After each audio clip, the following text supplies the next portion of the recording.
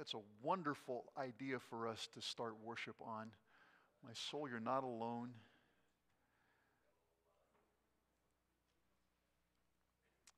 The fear that you're experiencing has to face the God you know. And we are here to worship Him. We're glad you're here this morning. How many of you are grateful for the rain? How many of you wish we could find some other way to make the, the earth moist? In spite of it all, Jesus is still Lord, and we're here to celebrate that this morning. A couple of announcements for your attention. You should have received a blue or pink Saints Pray card this morning. If you plan to participate in the Saints Pray process, as I hope as many of you as possible will do, uh, simply fill that out. If all you want to put on there is your name, that'll be fine. And then um, when the ushers come, excuse me, to receive your offering, uh, someone else, part of the prayer team, will be along behind them to pick up the cards. And then as you leave today, you will pick up a card that will be your person to pray for for the next time.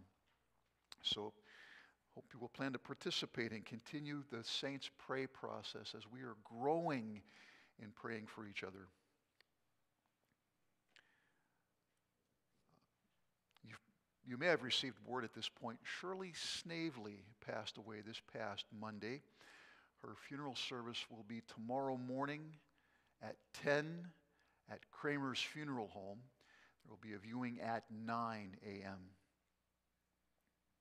Just a reminder, too, as it says in the bulletin, that Frank Wampler has made some CDs of the Praise God Through Music program. He also posted the program on Facebook. You can contact him if you have any questions about that. Trunk or Treat is coming. And if you plan to participate, it'll be Thursday, October 31st, Halloween night. We'll be gathering in the parking lot. If you would like to participate, we ask that you sign up in the narthex and let us know what you plan to bring, whether it's candy or ginger snaps or cider, um, whoopie pies, anything that you would like to pass out that night.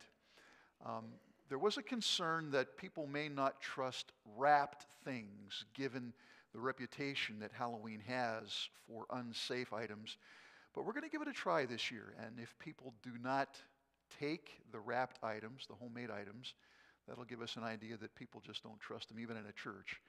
But if you'd like to do that this year, let's give it a try and see what happens. And if you have any questions, check with Tim Riddle. Yes, Janice.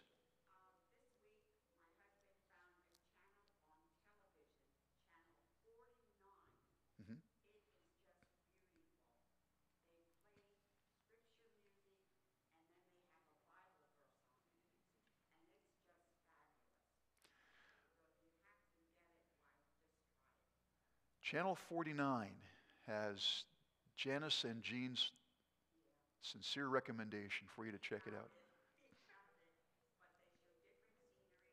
Mm-hmm.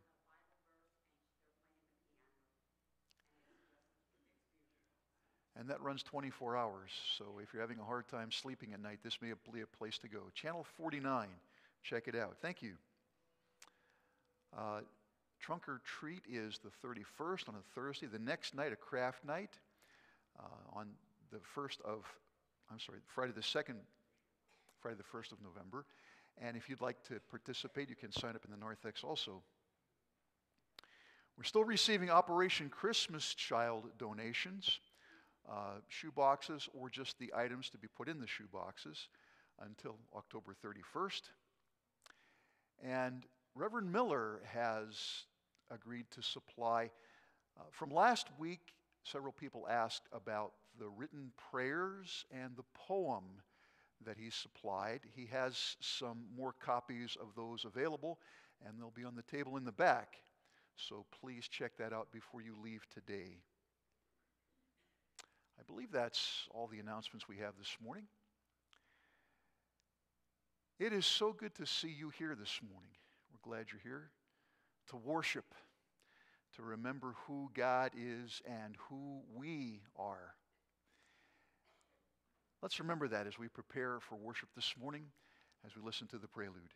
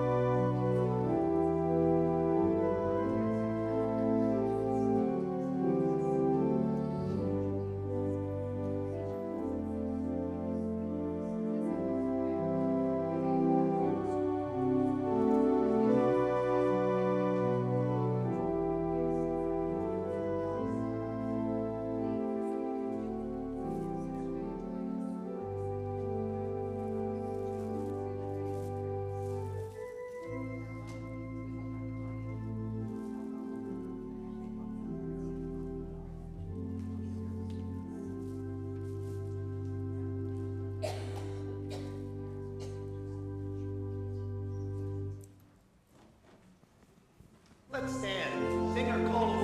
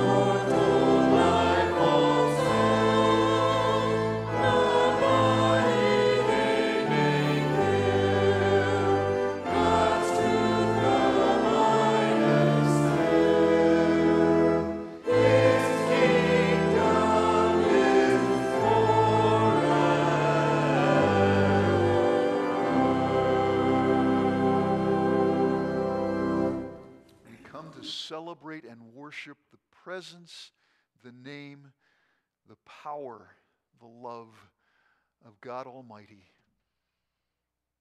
And the promise of the Word greater is He that is in us than He that is in the world. We claim that promise as we come this day to worship the crucified and risen and coming again Jesus Christ, in whose name we pray. Amen. Please be seated.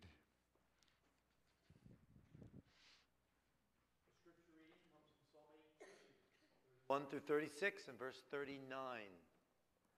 For who is God besides the Lord? And who is the rock except our God? It is God who arms me with strength and keeps my way secure. He makes my feet like the feet of the deer. He causes me to stand on the heights. He trains my hands for battle. My arms can bend the bow of bronze. You make me your saving, you make your saving help my shield, and your right hand sustains me.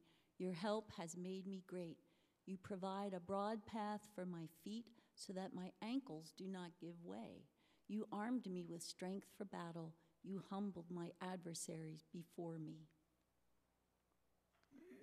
Sing along with this video. Great is our God?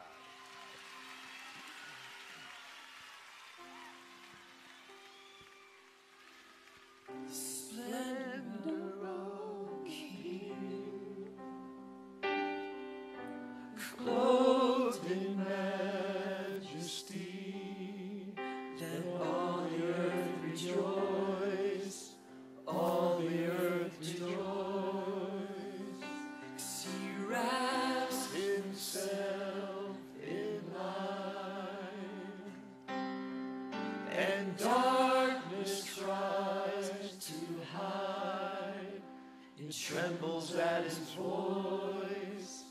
trembles at his voice.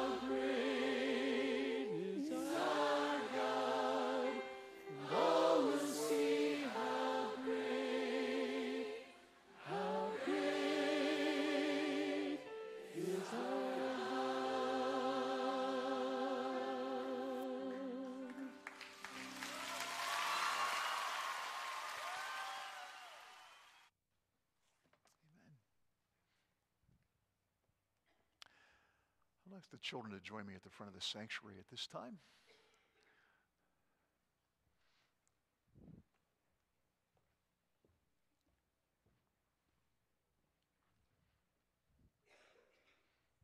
Oh, come over and sit.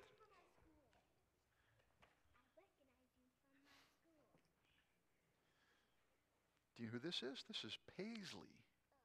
Do you know Grace? Do you know Emma? This is Emma. And this is Paisley's sister, Gracie. No, now you need to get to know each other a little better. I have a question for you. Do you like the rain? Yeah, so I can splash and puddle. You like to splash in puddles. How do mom and dad feel about that?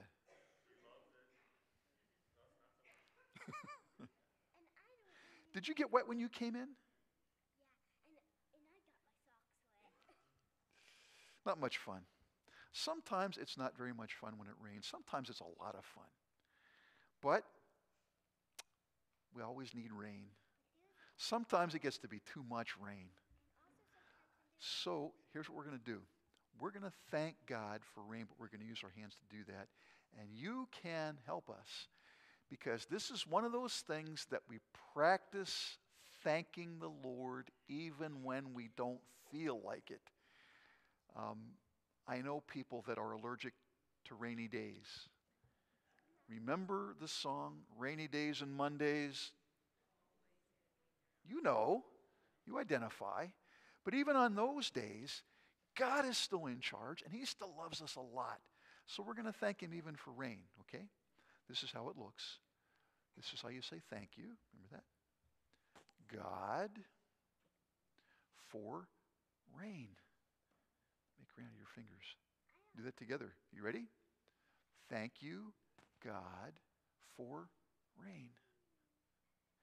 I'm going to tell you a story about a rainstorm that was really bad.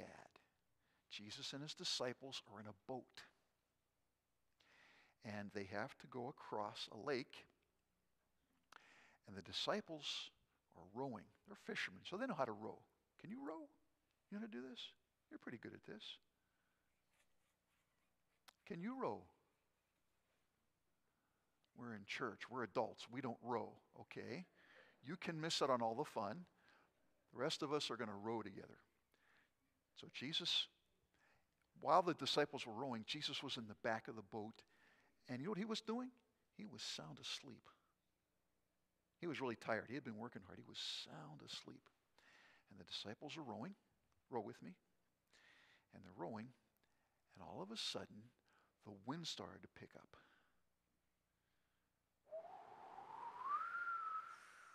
Can you make wind sounds? Can you make wind sounds? And the rain started falling. You can do that too. And the lightning started to flash and the thunder was rolling. You're much better at that than I am. You can do that. It's really getting loud. It's really raining. It's really blowing. And the disciples are still trying to row, but it's getting really hard.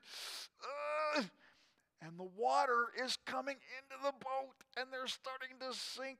And they're scared to death. They don't know what to do. And they run back to Jesus. He's still sleeping in the boat.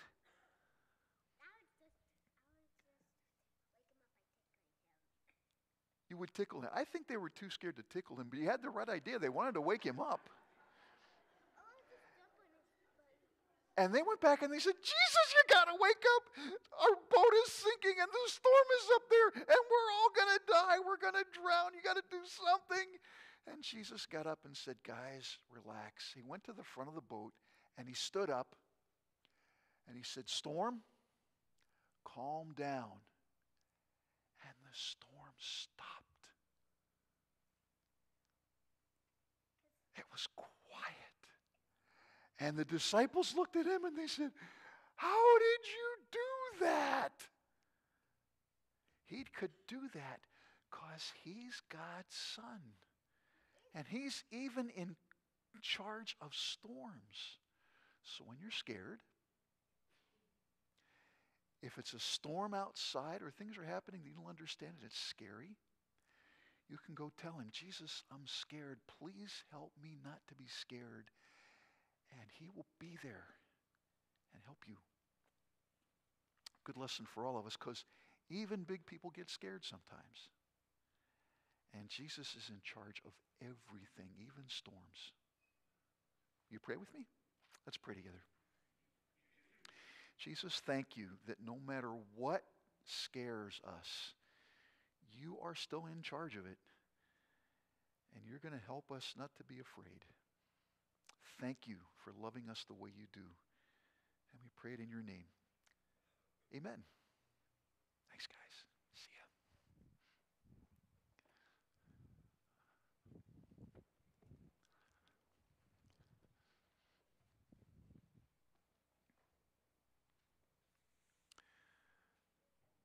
What may be one of the most terrifying events on a Sunday morning is what we're about to do.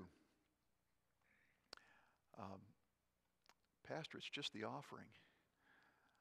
But the fact is, this is an act of worship.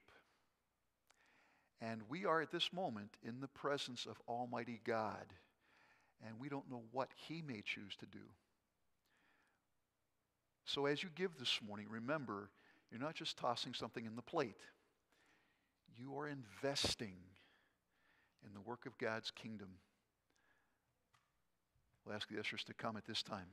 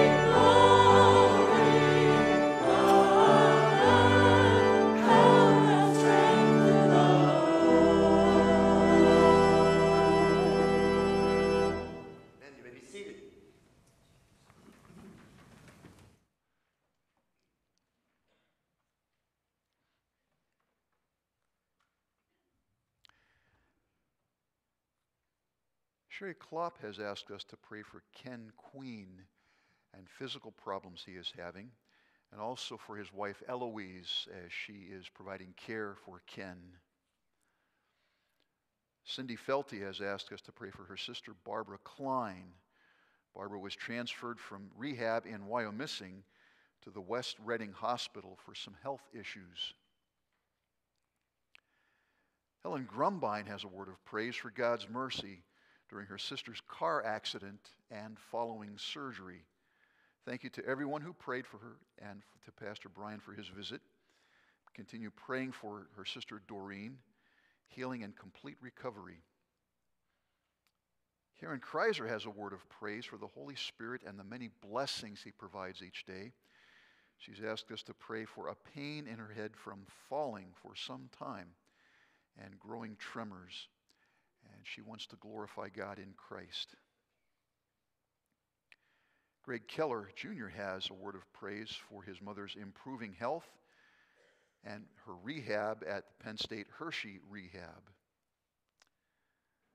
Bob and Pat Hartman have asked us to pray for, this is Bob's brother. Is that correct? Your brother, his sister's husband, uh, Roy Kreider, who has been diagnosed with kidney cancer.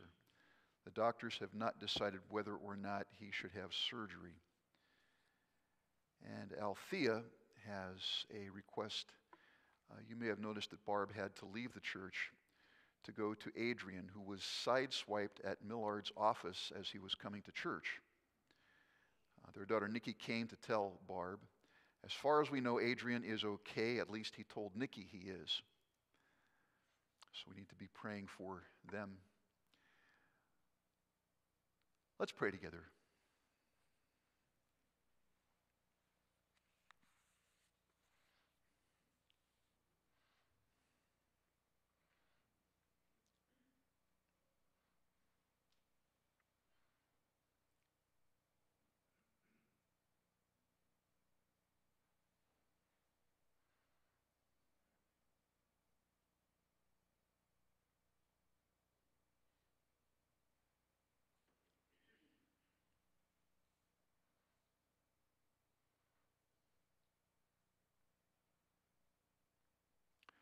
Father God,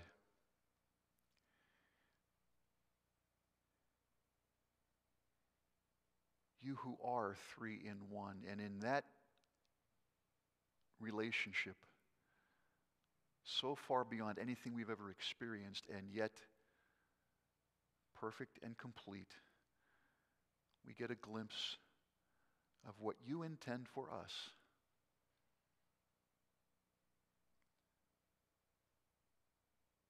That mutual love and respect and encouragement. And so, to reflect yourself, you died in order to create the church.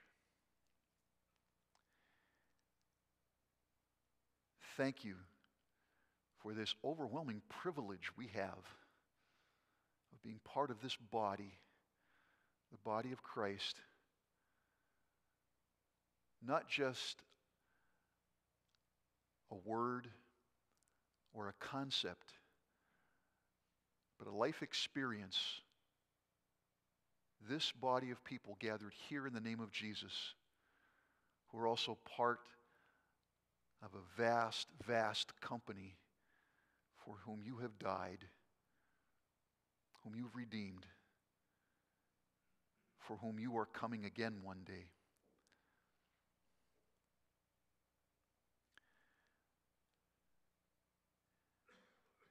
We find ourselves living day to day and recognizing the reality of evil in our world.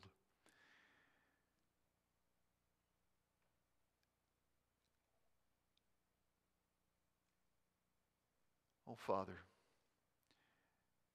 we don't have to go far to see the evil because we know that what is within us, that nature that is dead to sin and yet still kicking. Things for which we experience regret, things for which we experience pain, and yet some things that we desperately long to hang on to because it's comfortable, it pleases us, in spite of the fact that it comes between you and us. Today, we ask your forgiveness for those things.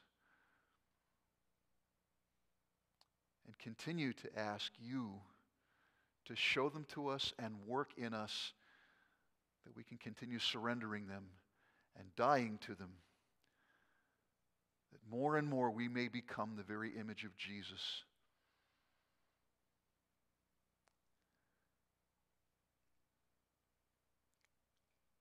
Father, we do pray for those around us for whom we are concerned and lift them to you in these quiet moments.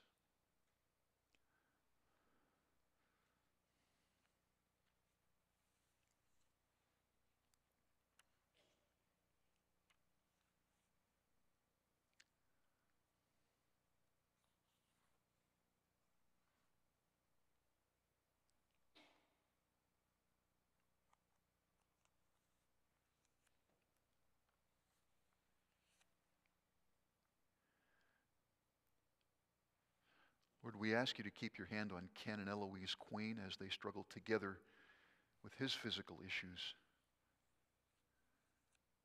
We pray for Barb Klein and not only her health issues, but her relationship with you and with the family. That you keep your hand on her and Cindy. Thank you for your touch in Doreen's life. Please continue to use Helen and to use the doctors and nurses and all in attendance with her. We pray for Karen that you make yourself continually more real to her every day, that you would work in the pain, in the tremors, and use her to get glory to yourself. Thank you for Sharon Keller. Continue the improvement that she is experiencing. And that even through this experience, she may become closer to you. We pray for Roy Kreider. May he and his family together learn more and more about trusting you as you guide the doctors in the decisions they need to make and Bob and Pat that they together may be as supportive as they can. And we pray particularly this morning for Adrian. We simply don't know from one day to the next what we may encounter. Please keep your hand on him, on Barb and Nikki, on this whole family, because the waiting to hear something can be agonizing. Please bring not only your healing, but your peace. And work this all out as you know best.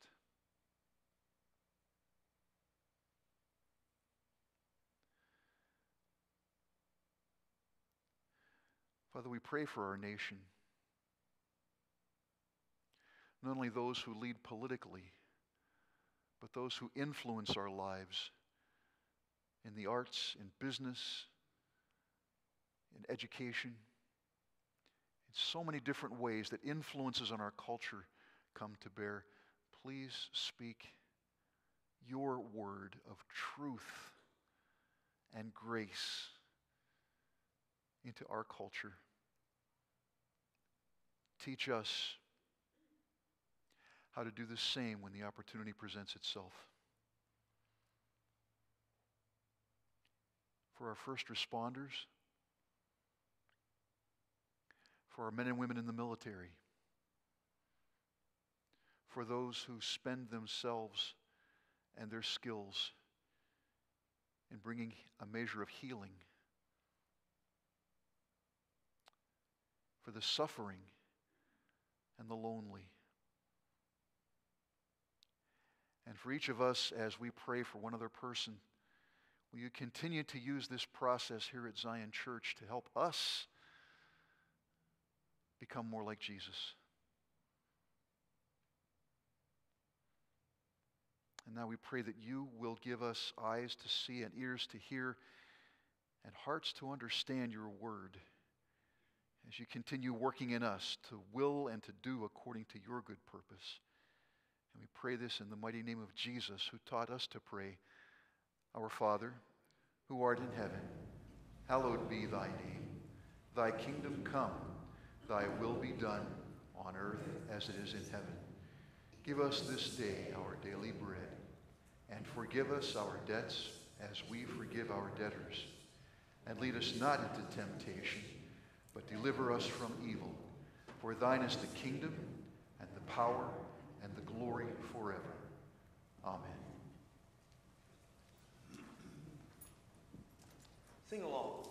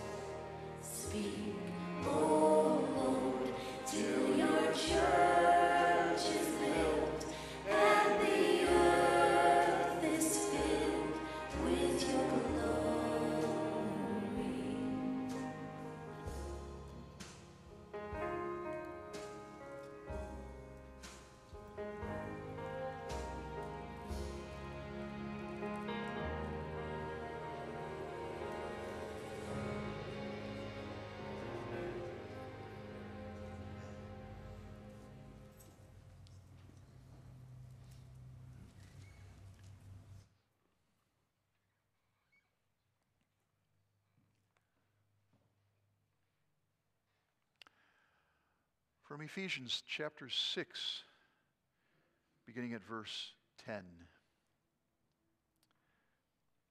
Finally, be strong in the Lord and in his mighty power.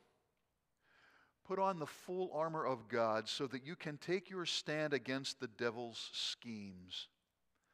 For our struggle is not against flesh and blood, but against the rulers, against the authorities, against the powers of this dark world, and against the spiritual forces of the heavenly realms.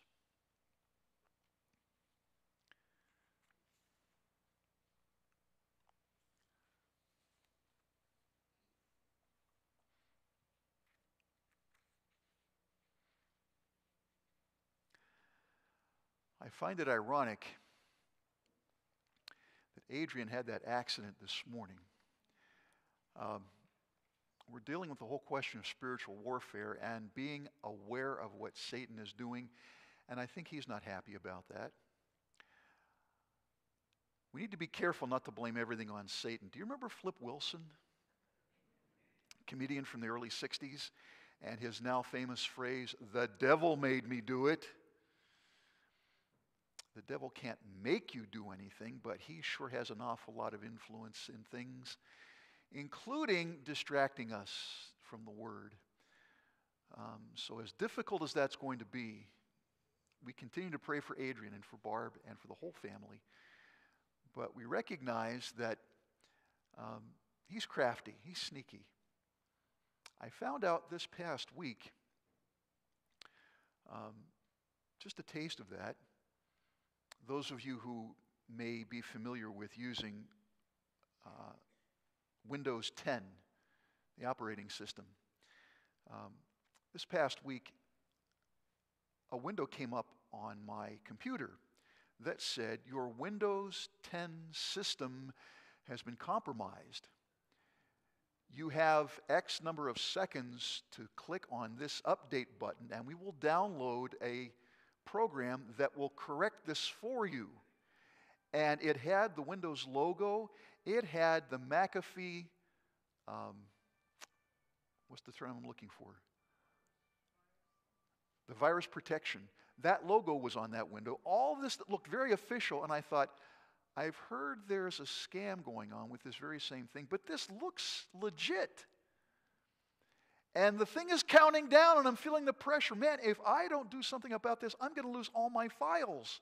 That's what the window says. So I did the smart thing. I called Frank. Frank, this looks legit. And I could hear him smiling over the phone. He said, My brother had the same thing this past week. It's not legit. Don't respond to it. I'll be right over. He came over did a couple things in the computer. I couldn't get that window to disappear. I clicked on the X. I did everything I could think of except clicking on the update. I did not want to do that. Frank came, took care of it. The next day, that window popped up with the same countdown and the same kind of pressure. And I thought to myself, nah, nah. I can't be that stupid. They don't think I'm really that stupid.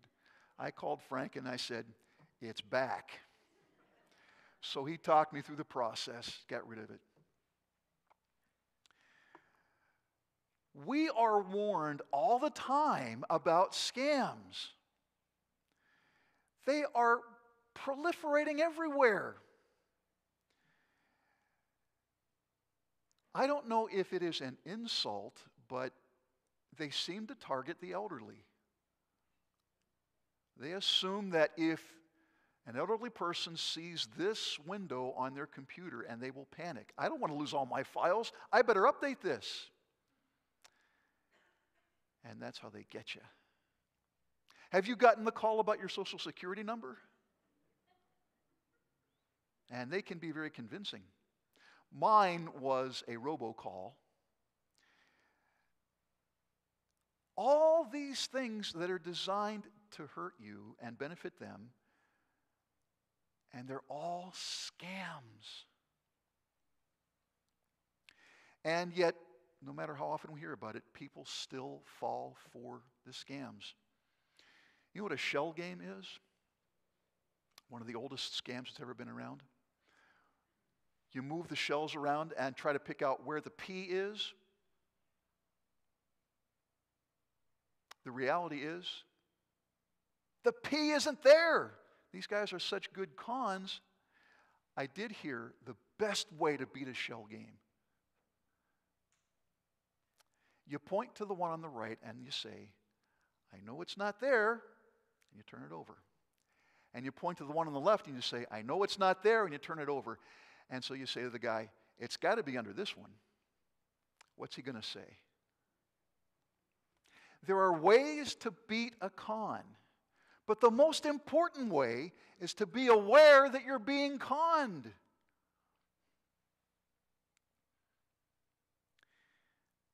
Do you ever find yourself wishing that they would just leave you alone?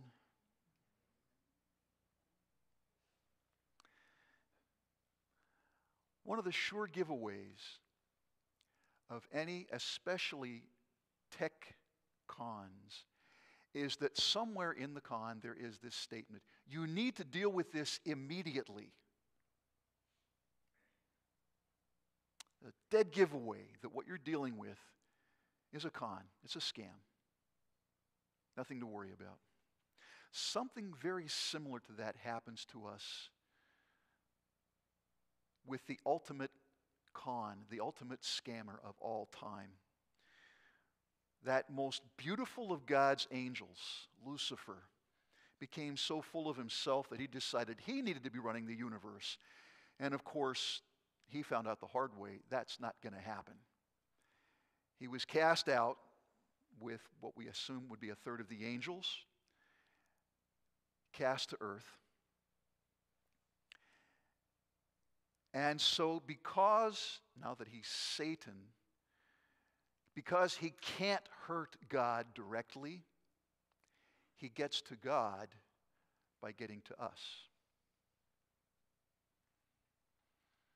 If you can't hurt a strong man, you pick on his kids.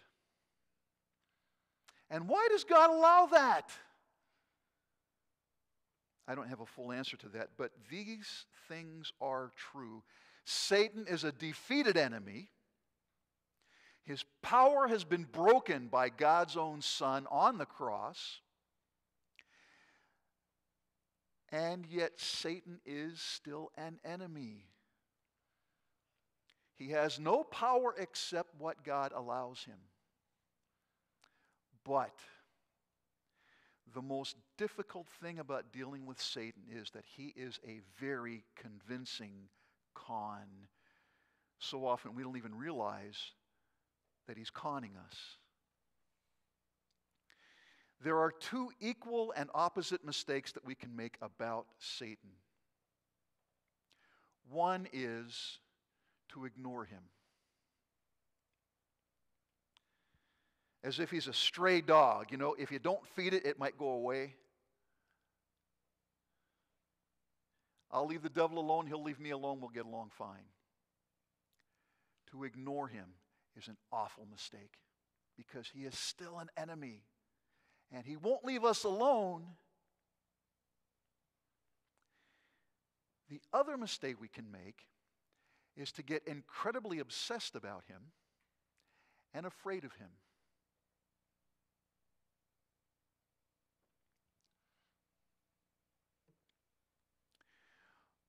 On the one hand, when we're dealing with the question of spiritual warfare, we can say, I'm just not into that sort of thing.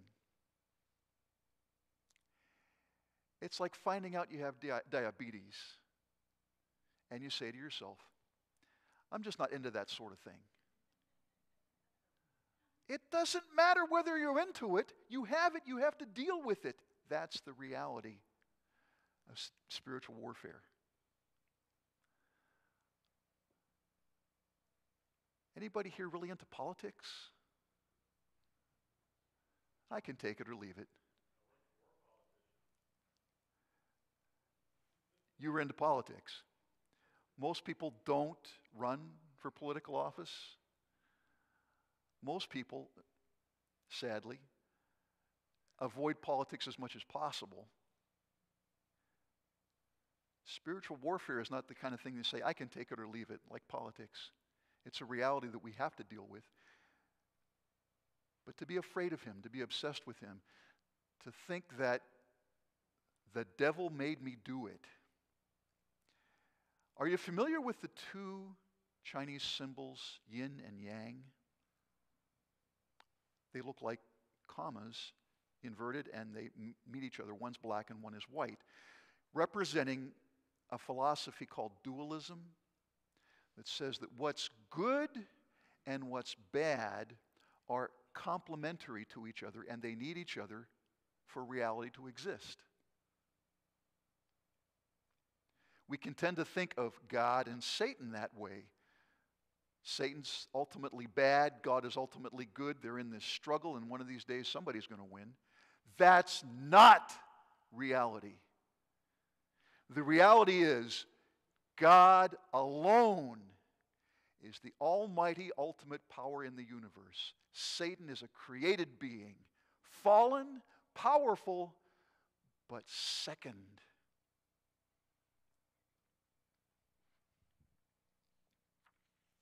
The first step in dealing with any scammer is to be aware of his schemes. And that's why Paul says in Ephesians 6 put on the full armor of God so that you can take your stand against the devil's schemes. I want to touch very briefly on three of his schemes. And then next week, we're going to look at what to do to deal with them. Have you ever had to forgive someone? How did that go? If you're really able to forgive completely, perfectly, you could say, I don't remember. But for most of us, if the thing was serious enough that it needed forgiven, it's something you can't forget. One of Satan's favorite schemes is unforgiveness. In 2 Corinthians 2, if you forgive anyone, I also forgive him. And what I have forgiven, if there was anything to forgive, I have forgiven in the sight of Christ for your sake, in order that Satan might not outwit us, for we are not unaware of his schemes. Apparently, in the Corinthian church, there were a couple of people, one ringleader particularly, who were downgrading Paul, casting aspersions on Paul, casting doubts on Paul's authenticity as an apostle. And the Corinthian believers were beginning to believe these reports. So Paul is writing back to remind them number one, what they heard from him was the gospel. And they needed to take a stand against what was being said because it was false. Well, the Corinthians did that. And the people who were fomenting this kind of rebellion realized they were wrong and they repented and they apologized. Well, the Corinthians were not happy at all about the fact that they had been so fooled. And so they were going to maintain their anger toward that repentant believer. And Paul said, wait a minute, wait a minute. Yes, he sinned, he repented, came and asked forgiveness. Now, don't keep holding that against him. Bring him back into the fellowship, welcome him back with open arms. Because unforgiveness, holding that grudge, is a scheme of Satan. If there's somebody in your life that you've decided you don't want to forgive, you've fallen for Satan's con.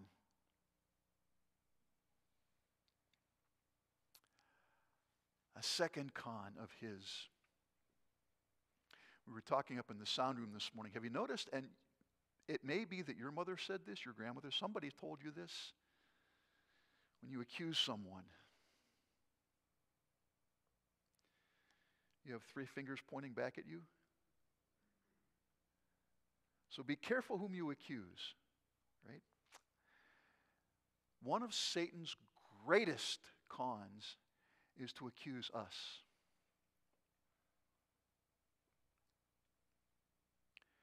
In Revelation 12, now have come the salvation and the power and the kingdom of our God and the authority of his Christ. For the accuser of our brothers, who accuses them before our God day and night, has been hurled down.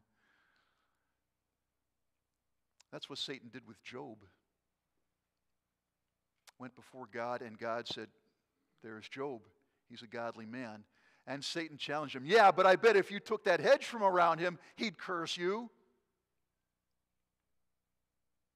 Satan delights nothing more than, in fact, one of his names is the accuser. And not only before God, but sometimes he'll bring back things that you thought were long gone. Do you remember when you, and then you wind up filling in the blank with that terrible thing? And he doesn't mind coming back and saying, See, I told you. Yeah, God says he forgave you, but that's because he's supposed to. He's still mad at you, and you know it. And you begin to believe that. And pretty soon that accusation becomes such an overwhelming thing, and you, you avoid God because you feel guilty going to Him.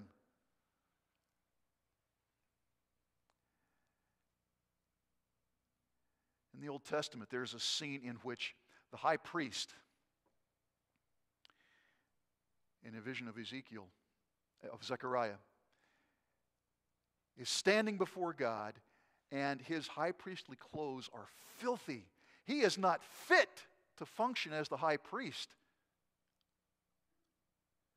And Satan is standing and accusing the high priest. And God comes and redresses the high priest in sparkling white clothes. Satan has been trying this accusing thing since there have been people around to accuse. Don't listen to the accusations because once God has forgiven you, it's gone. And you may go back to Him and say, Lord, do you remember when I? And He will say, Well, no, I don't remember it. It's not because His memory is bad, it's because He chooses to leave it gone.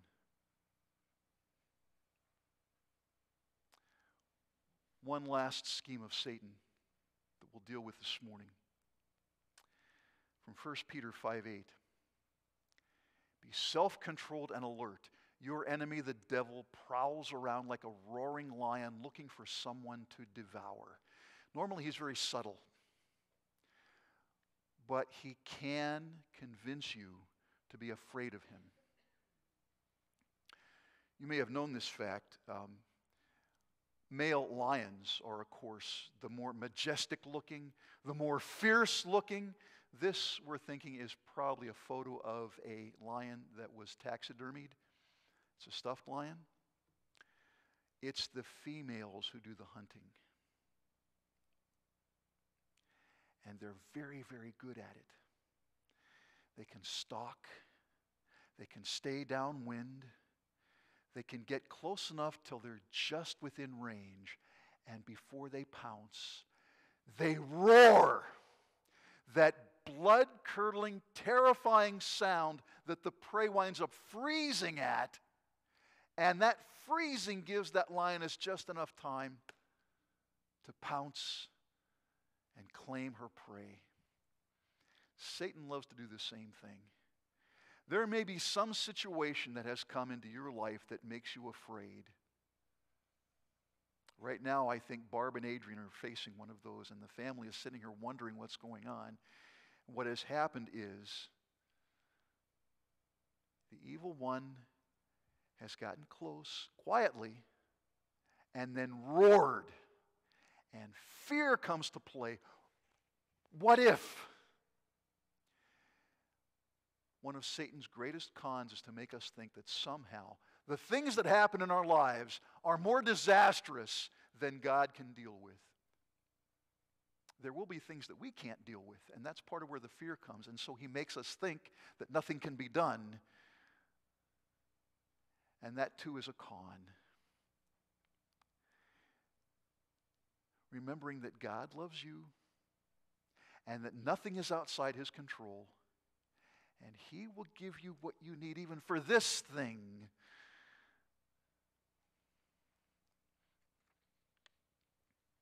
Satan has a host of other cons at his disposal doubt and discouragement and division, to name a few. What I want to remind us of this morning is that we need to keep alert to what he's trying to do in us. Not everything comes from Satan. People are still people. Have you noticed that? But the fact is, Satan will even use people just being people to try to discourage us, to hurt us, to make us feel that there's something terrible that God can't control. And those are the times that we need to prepare ourselves first by being aware this is not just this person who's being cantankerous. This is not my grouchy boss. This is not my wife who's, I don't know what's going on here now. This is not the flesh and blood in front of me that's the problem. It is the force behind that I need to be aware of. So I can't respond by saying, Will you just grow up, cupcake? We can't respond by saying, I thought I told you two, three, four times, don't do this. We don't respond with anger or frustration or jealousy. We don't respond in the flesh. We respond first by recognizing this is not the person that I have the big problem with. That's the presenting problem. The issue is what Satan is trying to do here in me. How am I going to respond to this? And next week, we're going to talk a bit about what those kinds of responses look like when we look at the armor. There's a reason that Paul calls it armor. And we're going to practice using it. But for now,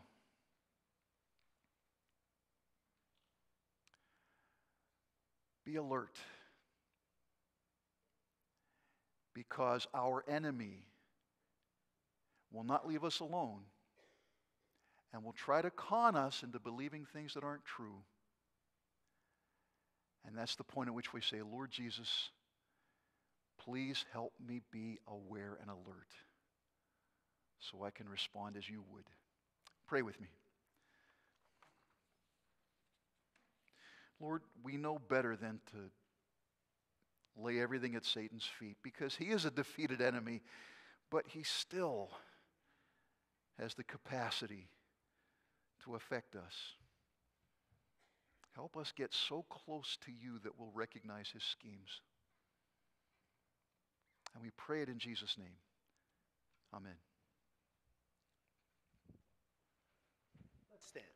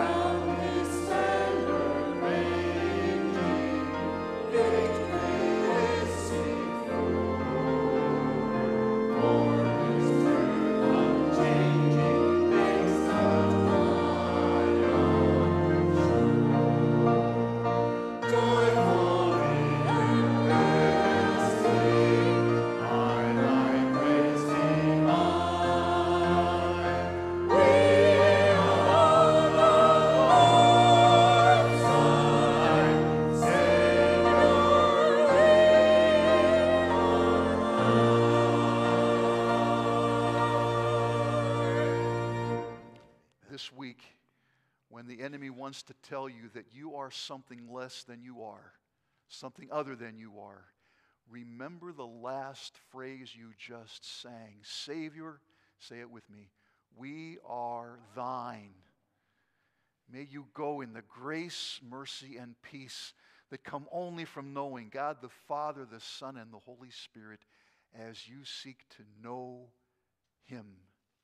And God's people said, Amen.